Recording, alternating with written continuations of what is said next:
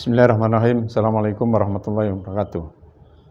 Innal hamdalillah nahmaduhu wa nasta'inuhu wa nastaghfiruh wa na'udzu billahi min syururi anfusina wa min sayyiati a'malina. May yahdihillahu lahu wa may yudlil fala an la ilaha illallah wa asyhadu anna Muhammadan abduhu wa rasuluh.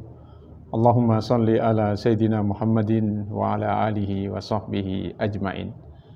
Qala Allah Ta'ala fi kitabil karim A'udhu billahi minasyaitanir rajim Wa min ayatihi an khalaqalakum min anfusikum azwaja Litaskunu ilaiha wa ja'ala bainakum mawaddatan wa rahmah. Inna fi dhalika la ayatin liqaumi yatafakkarun. Sadaqallahul azim. Salah satu persoalan yang sering kali membuat cemas sebagian orang yang belum menikah adalah masalah jodoh. Karena itu mudah-mudahan tadabur renungan tentang ayat yang berkaitan dengan pernikahan ini bisa sedikit menenangkan sebagian mereka yang masih terus mencemaskan masalah jodoh ini. Yang pertama, Allah menyebutkan di dalam ayat ini bahwa Allah menciptakan segala sesuatu itu berpasang-pasangan.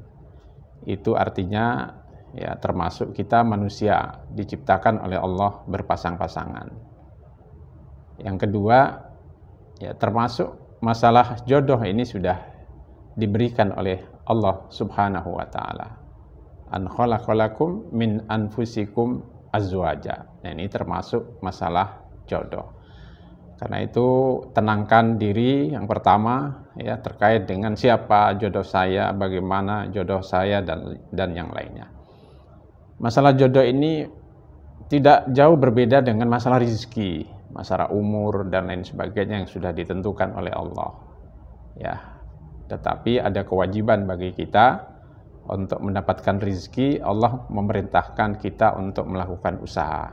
Sama dalam masalah perjodohan kita ini, manusia ini, ya persis seperti kita mencari rezeki juga gitu, harus dicari. Ya, dan kita boleh, ya, boleh memilih ada pilihan-pilihan yang diberikan oleh uh, Rasulullah Shallallahu Alaihi Wasallam. Karena itu dalam salah satu hadisnya Rasulullah Shallallahu Alaihi Wasallam uh, bersabda, tungkahul mar'atu li arba'in ya li maliha wali hasabiha wali jamaliha wali diniha fadfar bidatiddin. Nah, di sini menggambarkan ya, bahwa ya seseorang ketika mau mencari jodoh ya, tentu ada pilihan-pilihan yang ditoleransi oleh Islam itu sendiri Ya, Rasulullah menyebutkan wanita itu dinikahi biasanya umumnya ya karena pertimbangan-pertimbangan empat hal ini. Ya, karena hartanya, karena kecantikannya, karena nasab keturunannya dan karena uh, agamanya. Nah, ini adalah potret dari Rasulullah SAW yang memotret kehidupan atau realitas kehidupan manusia yang sering kali mempertimbangkan banyak hal dalam mengambil satu keputusan, termasuk masalah jodoh ini. Nah, hadis ini tidak melarang seseorang untuk mempertimbangkan masalah uh, kekayaan, masalah kecantikan, masalah keturunan, dan lain sebagainya. Tetapi hadis ini memberikan catatan eh, yang paling penting harus menjadi landasan dari semua itu, yaitu kepastian tentang masalah agamanya.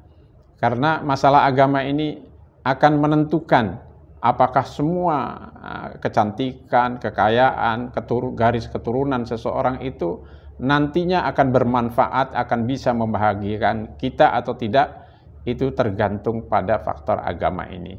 Karena itu Rasulullah SAW menyarankan ya, bagi siapa saja yang ingin mencari jodohnya ini pastikan ya fadfar bidatiddin pastikan agamanya. Karena kalau tidak nanti ya nanti akan uh, sengsara, nanti akan celaka. Bukan saja di dunia, nanti juga di di akhirat.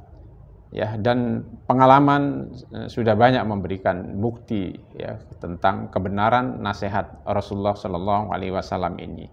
bagaimana ya semua kekayaan, garis keturunan, ya kedudukan dan lain sebagainya itu ya hampir eh, atau boleh dikata tidak tidak banyak memberikan manfaat kalau tidak ditopang, kalau tidak dilandasi dengan landasan eh, agama. Karena itu pastikan eh, masalah ini agar eh, kita bisa mendapatkan eh, jodoh yang tepat, jodoh yang ideal, jodoh uh, sebagaimana yang kita uh, inginkan. Kalau sudah mendapatkan yang ya, faktor agama ini, maka faktor yang lainnya, yang ketiga yang lainnya itu uh, sekedar sebagai sebuah penunjang, tidak tidak menentukan. Ya, kalau masalah harta, masalah kecantikan, masalah keturunan itu relatif ya sangat sangat relatif bagi setiap orang. Tapi agama bukan urusan yang relatif. Agama ini urusan mutlak yang harus bisa kita uh, pastikan sehingga akan menjamin bahagia tidaknya kehidupan rumah tangga. Semoga bermanfaat. Assalamualaikum warahmatullahi wabarakatuh.